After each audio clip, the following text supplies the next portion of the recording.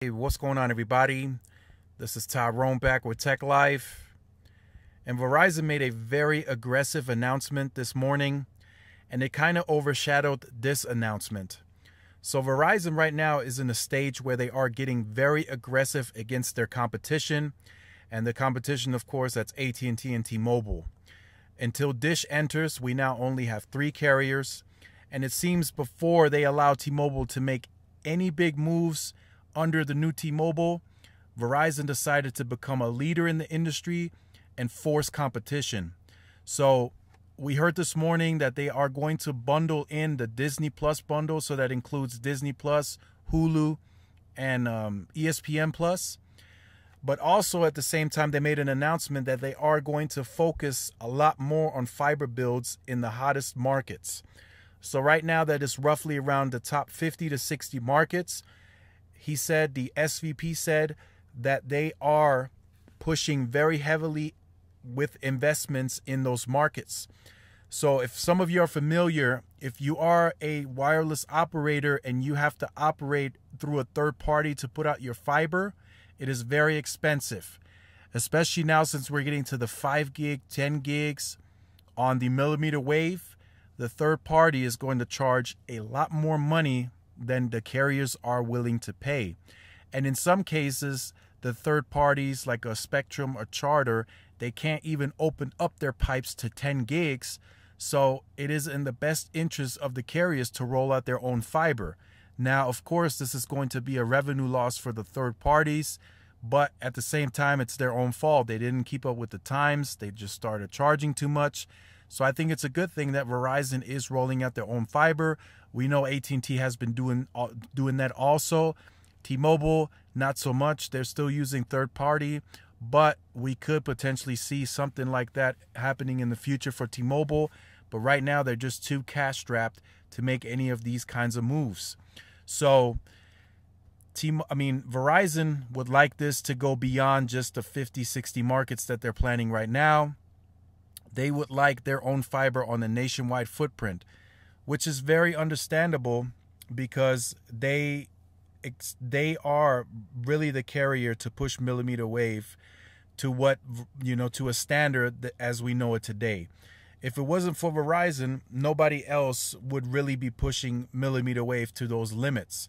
So we're seeing better reachability on millimeter wave, faster speeds now, and that's because of Verizon. Nobody has put enough research and development, in my opinion, into the technology to push it like Verizon. And for that matter, the other two are likely to be behind to have a similar performance on millimeter wave. They'll get there eventually, but for now, they will be behind because this is really the technology that Verizon is pushing. So, Verizon in the future is not going to have an issue on the streaming so much and I'll make another recap video on the announcement this morning as well. There's some other things that I wanted to cover on that.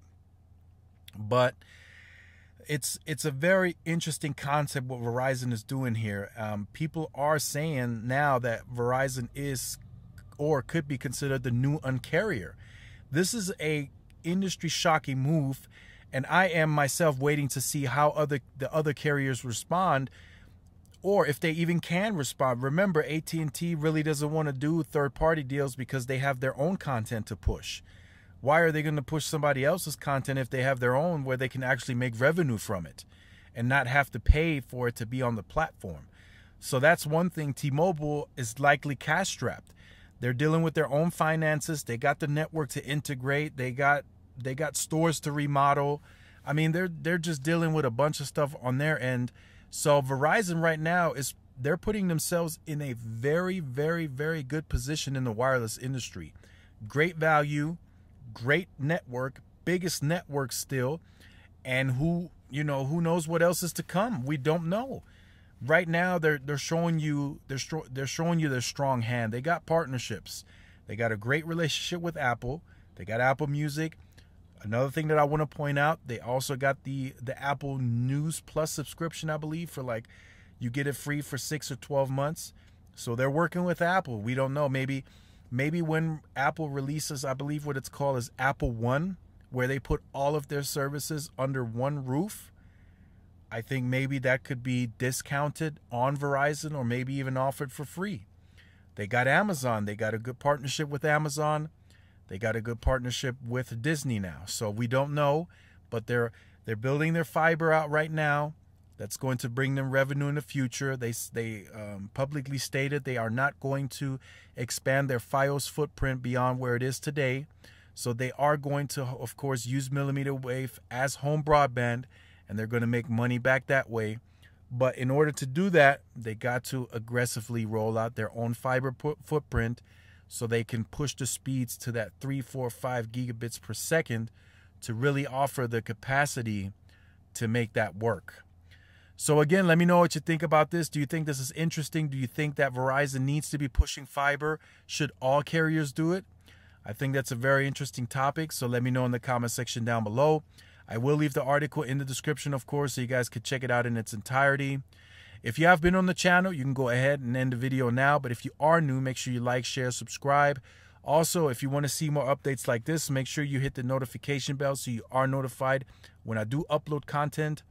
Also, follow the Twitter as well. I do post the videos on Twitter. So you guys have two platforms to get the notifications pushed in case one or the other is behind. And this is Tyrone with Tech Life, and I'll see you guys in the next video. Peace.